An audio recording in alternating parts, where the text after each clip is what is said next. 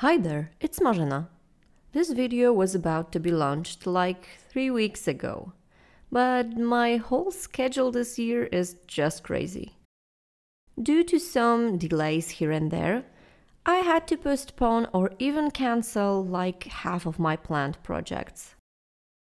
For example, I wanted to make not one, not two, but three mermaids for this year's Mermay. And I made none. But better late than never. Let's make at least one of them today. Okay, let's dive in. I wanted to base this mermaid on a goldfish, specifically the black one. But because completely black vinyl is pretty hard to blush, I decided on a Jinafire Long as a base. Her golden face will allow me to add some more details to the face up. First, however, I needed to prep her. I started as always by cutting her hair as close to the scalp as possible. Then I soaked her head for one minute in a freshly boiled water. This makes the head more squishy and easier to remove from the neck, without destroying the neck pack. Hot water also melts the glue inside the head, so it is pretty easy to remove the remaining hair plugs through the neck hole.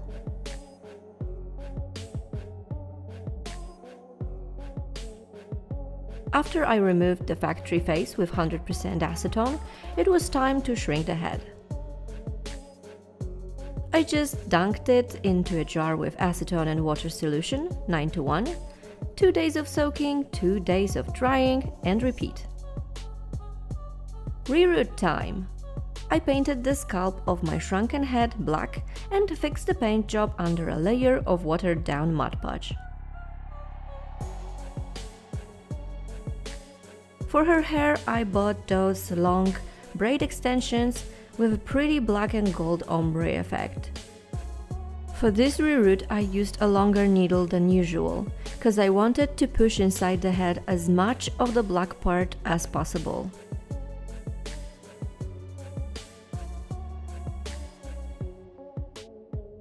Was my first ever reroot with synthetic hair, and I must say, please never again. The hair turned out nice, but I really didn't like its structure. And wow, they were heavy. But anyway, I did the reroot for a few rows at her hairline and I left the middle part for the future styrofoam base, so I could make the hair look flowy and underwater-like, not just straight and heavy. I glued in the wire for the base and squeezed a lot of high-tack glue inside the head to secure my new hair. I left the glue to dry and on the next day I brushed out the hair kept them shorter, braided them so they wouldn't tangle, and it was time for the head to go back on the body. I widened the neck hole, trimmed down the neck pack, sanded the neck a little, and heated up the head with a hairdryer. Then I realized that the glue didn't dry at all. I have no idea what caused this. Was it the hair type? Or just its amount inside the head? Or is my glue going bad?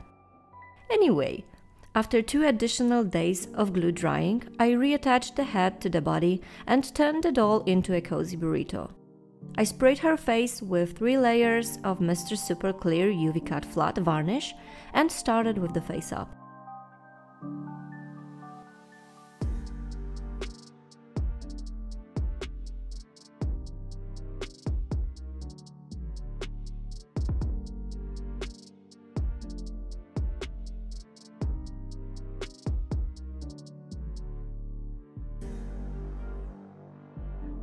I know that huge eyes are a characteristic feature of this type of goldfish, but I like small eyes on my dolls.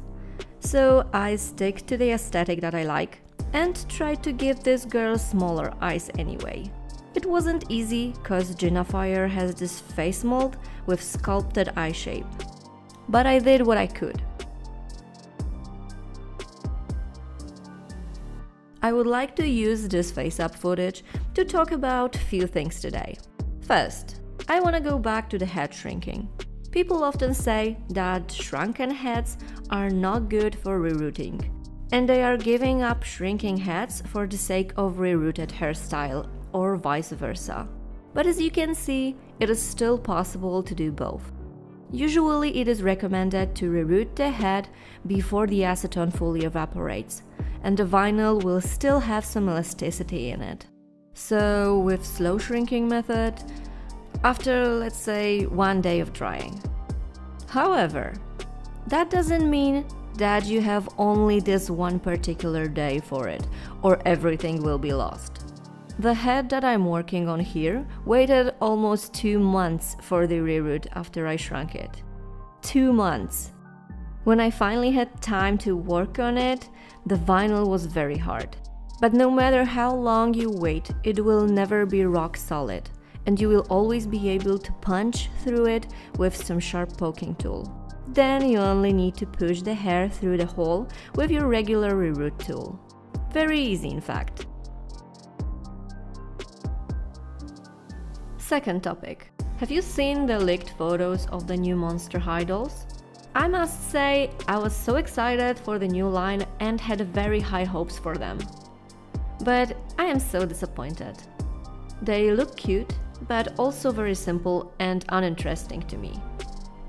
Are we really gonna get another line of Enchantimals and Cave Club dolls? Good for small kids to play, but also pretty much boring. I know that nothing is certain yet, but I am very skeptical now to be honest.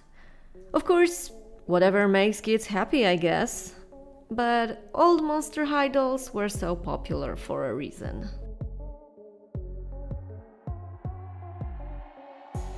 The last topic I want to talk about is my future Q&A video. I said that I will be leaving a pinned comment for your questions on my every video until I will reach 100k subscribers. But I decided that it will be easier for me to have all those questions in one place. So I will just leave a link to my previous video in the description box. You can go there and check out the pinned down comment. Give a like to the questions you really want me to reply to or leave your own.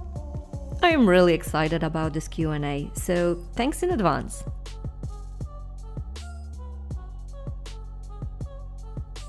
I didn't have another exact same Jinafire doll, but you can see the difference, right? I secured the hair and face under plastic wrap and went straight to the mutilation, I mean modifications. First, let's say bye-bye to her legs. There's no place to run anyway. I sanded down the plastic seams and factory numbers. I also roughed up the surface on her chest for the future boob job. I wanted her right hand to be touching her cheek, so I needed to widen the range of the movement in the elbow. Okay, so I wanted to make a stamp with the scale pattern just so I could use it on the sculpted pieces later. I mixed an impression silicone and pressed the cut off leg onto it to make a negative of the scales. Just FYI, I could use gloves, but it wasn't necessary, cause this is a dental silicone that's being used in a patient's mouth, so 100% safe and non-toxic.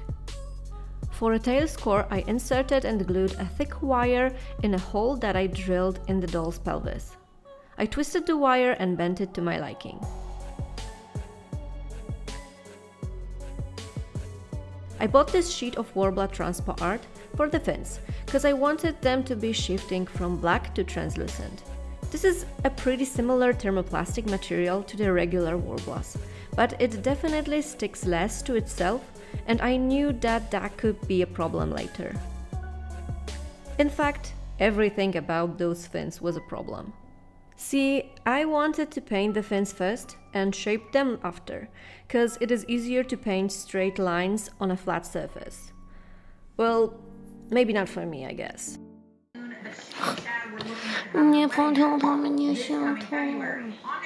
I wanted to do a sandwich from Worbla with the paint job in the middle. It was supposed to secure the paint job and make the fence less flimsy. After all, our girl was supposed to be standing on that tail. Of course, it didn't work out. The paint prevented the Worbla's pieces from sticking to each other, and it was still way too flimsy. Let's try something else. I've seen someone make fins for a fish sculpture by heating up and shaping cured UV resin. Resin is hard, right? Well, I would say even too hard.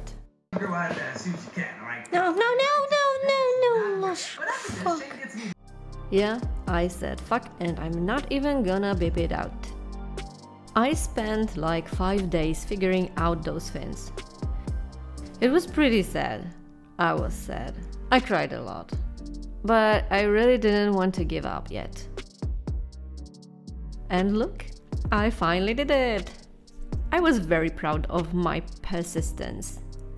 Do you wanna know how I made it? Do you wanna? Do you wanna? I'm gonna tell you anyway. I cut the proper shapes out of a single sheet of Worbla TranspArt.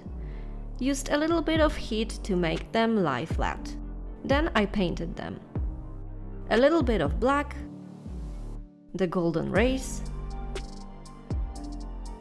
a little bit of translucent yellow, and some black on top.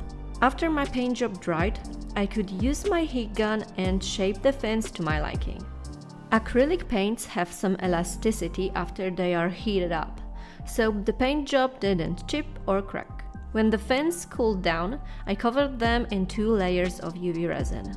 I applied the resin in sections so it wouldn't drip uh, uncontrollably. Yes, I didn't use gloves, because the only thing that my hands are allergic to are the powdered gloves. It was like 35 Celsius degrees on my workshop that day, and it was almost impossible to squeeze into my powdered free ones. So I just tried my best not to touch the uncured resin, with a success. Of course, I didn't forget about my mask and goggles, and I worked with my window open, cause the resin fumes are bad and you don't want to have them in your eyes and lungs. When all the fins were ready, I just needed to glue the big ones together. I arranged them in a way that will allow my mermaid to stand on them by herself.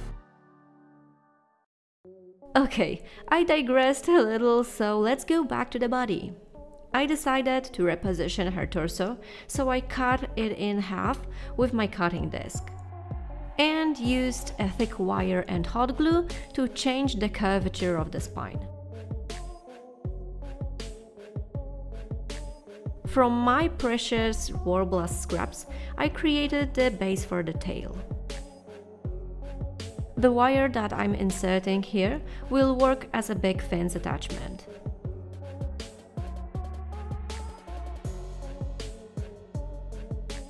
To make the tail smooth, I covered it with bigger Worbla pieces.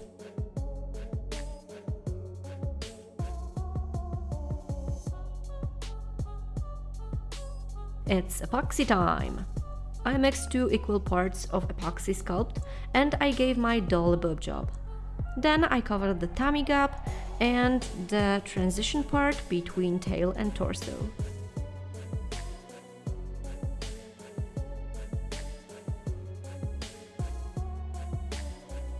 She's a seductive kind of gal, so I gave her wide hips and even some booty. Not because it makes any sense, just because it is my mermaid and I wanted to do it. So yeah, a fishtail with a butt.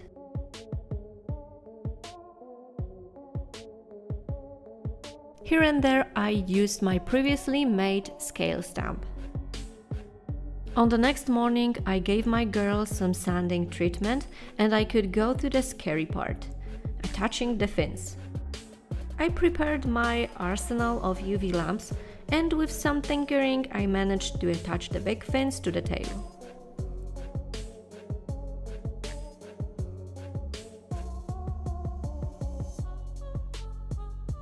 As you can see, I glued some wire attachments to all the smaller fins so I could mark where I want to place them, drill the holes and just glue the fins in with a super glue.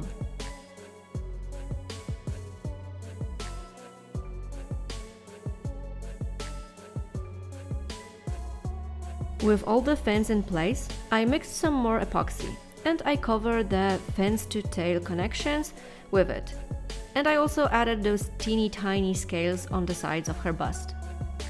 Okay, hear me out now. All this time when I was working on this girl, I was very pissed off at her hair. The head was so heavy, and I had this anxious feeling that I will be struggling with them even more than I did with the fins. So I thought it through and decided to remove them. Easy peasy. Took like 8 hours.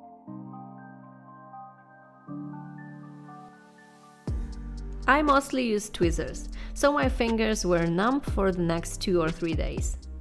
I also used crampons, thread cutters, and the best thing ever, those cutters that came with my 3D printer. They are for cutting off the supports from 3D models and they allowed me to cut those nasty hair almost at the scalp level. Back to the tail. I rolled many, many, many little balls of epoxy sculpt and created the scales, starting at the end of the tail and slowly going up. I also posed her arms and covered the joints with epoxy.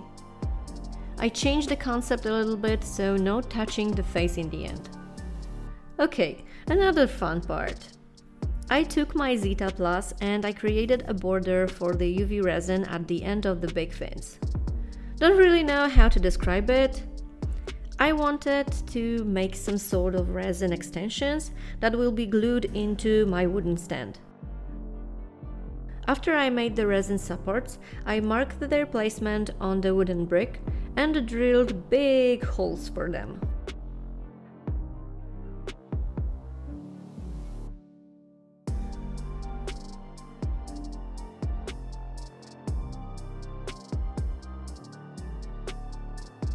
Did it work?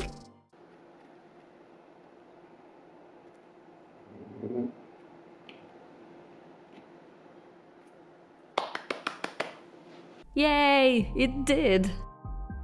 I put a lot of hot glue into those holes. I mean, a lot. Better safe than sorry. I wanted to give her something to hold in her right hand and decided that since she is a goldfish mermaid, the gold pirate coins will suit her just fine. I took a coin and with Zeta Plus, I created a little stamp. Then I made a bunch of tiny epoxy balls and flattened them with my stamp.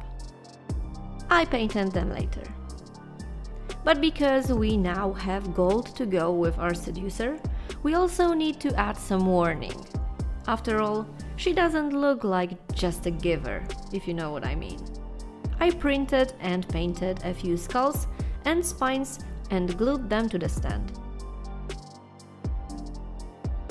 I used my favorite kitty litter and wood glue mixture to create a sand effect.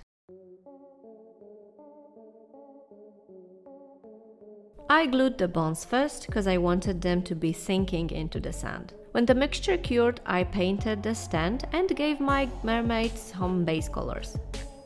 Then I brushed some gold mica powder with a big foundation brush.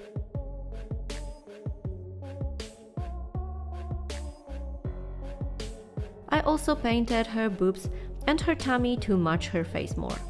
I covered the fence with a plastic wrap and sprayed the body with two layers of Mr. Super Clear. Then I could add shading and blushing with soft pastels and a small dots here and there, just like the ones I drew on her face. One more layer of varnish to secure everything and let's make her hair. Again, I prepared the hair wefts from 100% acrylic yarn. I also made this extension on a wire base that I attached to the head. Then I just glued the rest of the wefts, styled them a little bit in this wavy underwater look and sprayed the finished hairstyle with a hairspray. I printed and painted some rocks for the base and I also made those plants thingies. I attached them to the stand along with the golden coins that I made and that was it. My goldfish mermaid was done. Finally.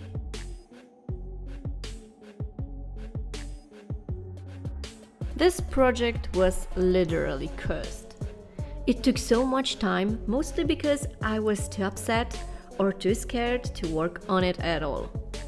I spent so many days trying not to give up on the wavy translucent fins. The reroot took hours just to be removed anyway, which also took hours. In the end, though, I'm really happy. Once again, I struggled, but I also pushed through. She ended up not exactly how I imagined, but it is still a very successful project for me. She feels etheric, seductive, and magical, and that is what I was aiming for.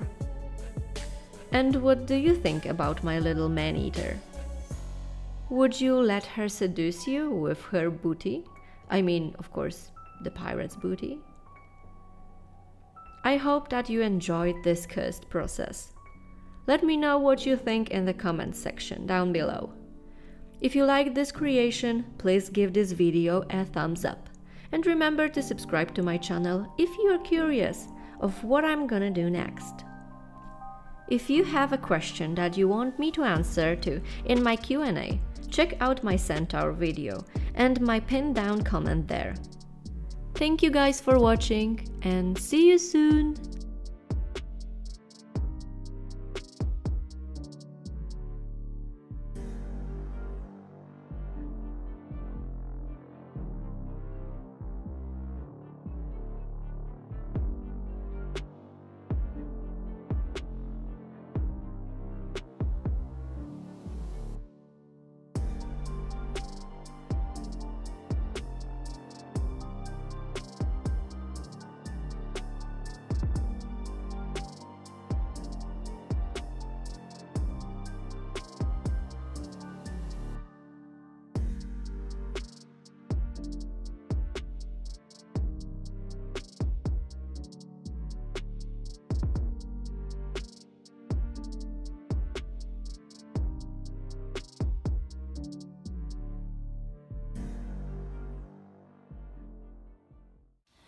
Chciałoby się popracować.